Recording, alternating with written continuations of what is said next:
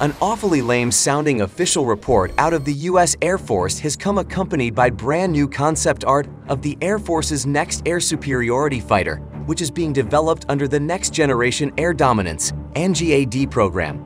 This new fighter is expected to fill the air superiority role currently occupied by America's highly capable fourth generation F-15, as well as the advanced, but increasingly rare F-22 Raptor. Last September, the U.S. Air Force shocked the aviation world when they announced that they not only had a design in mind for their next-generation air dominance, NGAD fighter, they'd already built a prototype and flown it.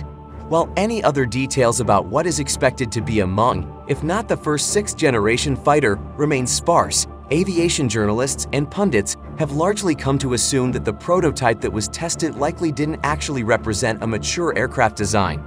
It seems likely instead that an aircraft intended to serve as a technology demonstrator for different systems intended for the next generation jet is what actually took to the sky last summer. Despite the likelihood that the Air Force doesn't yet know what the NGAD fighter will really look like, there can still be some worthwhile information to glean from official artist renderings and their accompanying documentation. Last year, coinciding with the Air Force's NGAD test flight announcement, the Air Force released a graphic for its 73rd birthday depicting an unusual triangular aircraft that looks nothing like any operational fighter in today's force. To be fair, it's entirely feasible that this concept art was influenced by previous concept art for sixth-generation fighters released by firms like Lockheed Martin, but some still wondered if the timing of the NGAD announcement and artwork were intentional. On Monday, the Air Force released its biennial acquisition report covering fiscal years 2019 and 20.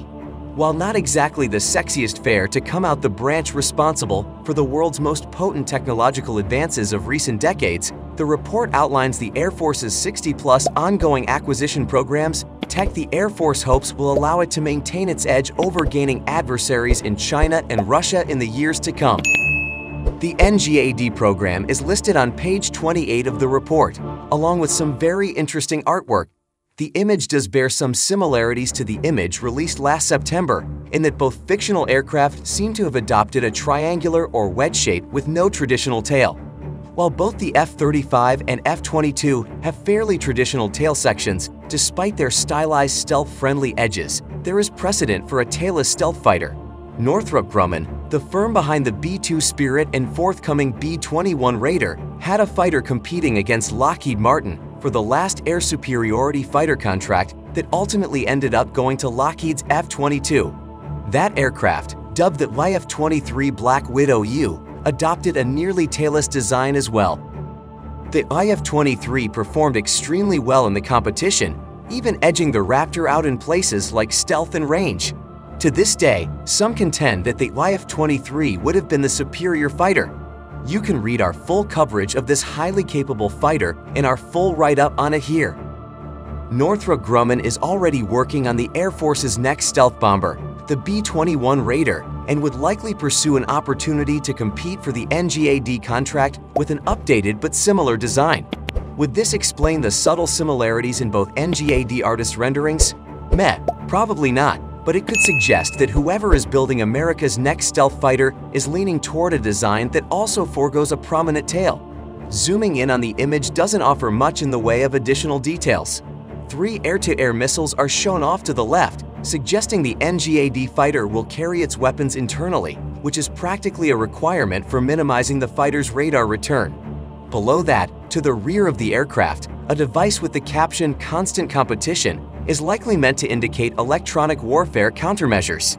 To the right of the fighter are three diagrams showing the jet engines in the aircraft that have the phrase digital experimentation accompanying them.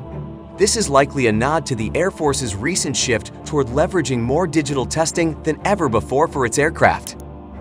Finally, a second aircraft diagram can be seen just behind the fighter, which may simply be similar to the other repetitive designs seemingly showing a progression of technology, but could also represent the Air Force's repeated statements suggesting the NGAD program won't produce one fighter, but rather a whole family of systems. The 2019-2020 acquisition report also offers a brief summary of the NGAD program, what it intends to do, and why it's progressing differently than previous monolithic fighter programs like the F-35 Joint Strike Fighter. Despite widely being considered the most capable tactical aircraft on the planet, the F-35 has also suffered from repeated setbacks and budget-busting issues that have earned it a reputation as the very pinnacle of bad acquisition practices. Next Generation Air Dominance is a family of capabilities that enable air superiority in the most challenging operational environments by enforcing the development of pillars of digital engineering, agile software development, and open architectures, the report reads. It goes on to point out that the aircraft born of the NGAD program will be meant to operate alongside previous stealth aircraft like the aforementioned F-35 Joint Strike Fighter and the NGAD's direct precursor, the F-22 Raptor. That clarification is important due to recent statements by Air Force officials that would seem to undermine the F-35 program's supremacy in the Air Force's priority list. Designed to complement the F-35, F-22, and partner forces in the air superiority role, Next Generation Air Dominance is an advanced aircraft program for development of penetrating counter-air platforms with multi-domain situational awareness, agile resilient communications, and an integrated family of capabilities.